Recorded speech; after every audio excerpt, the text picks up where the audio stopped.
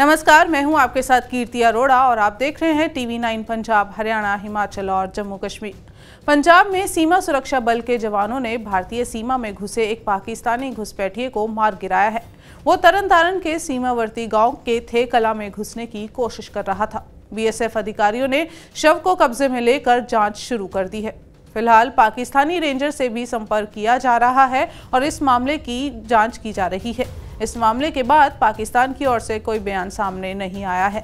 BSF की ओर से दी गई जानकारी के मुताबिक ये घटना शुक्रवार सुबह की है।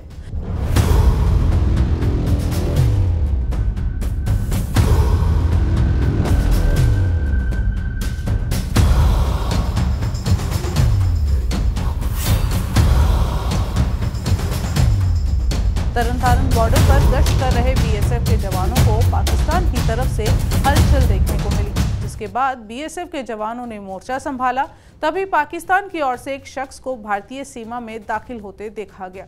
बीएसएफ के जवानों ने पाकिस्तानी घुसपैठिए को चेतावनी दी और वापस जाने को कहा। लेकिन जब वह नहीं रुका तो और कंटीली तारों की ओर से आता रहा तो बीएसएफ के जवानों ने सतर्क रहते हुए नियमानुसार घुसपैठिए को घेर लिया।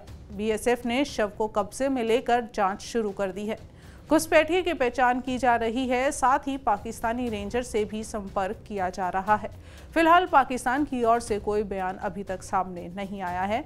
बीएसएफ प्रवक्ता के मुताबिक 11 अगस्त की सुबह बीएसएफ के जवान तरन तारन ज़िले में पाकिस्तान से लगी सीमा पर कंटीली तारों की बाढ़ के सामने गश्त कर रहे थे।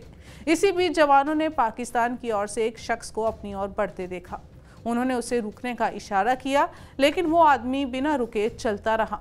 खुद पर खतरा देख जवानों ने उस पर गोली चला दी, जिससे उसकी मौके पर ही मौत हो गई। आपको ये वीडियो कैसे लगा, हमें कमेंट करके ज़रूर बताएँ और अपनी राय साझा करना बिल्कुल ना भूलें। चैनल को लाइक और सब्सक्राइब बिल्कुल करें। धन्यवाद।